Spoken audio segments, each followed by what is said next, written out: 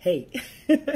All right, it's Miss Dee again from Miss Dee Reads, and this month we're featuring books out of Santa's grab bag. So I'm going to just grab a book off the pile of books that I have here on the side. So today's book, oh, this is a good one.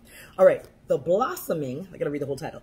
The Blossoming Universe of Violet Diamond by Brenda Woods. This is a really good book. Now, I'm gonna tell you why this book is really good because if, if you're a child or your child is biracial, let's talk about it from that perspective. Okay, so first of all, this little girl, Violet, she has a black father and a white mother. Now, her father died before, you know, she really got to know him. And so, I think she, he died when she was born. That's right. She died when she was born.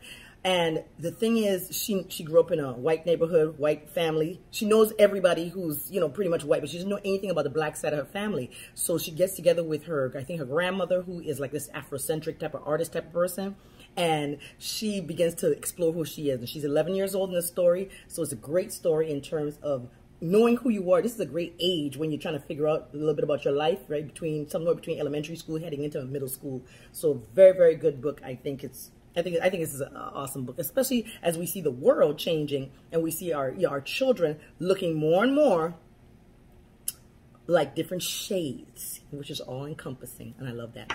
All right, guys, I will see you very soon with yet another book out of the Santa Grab Bag series. Bye.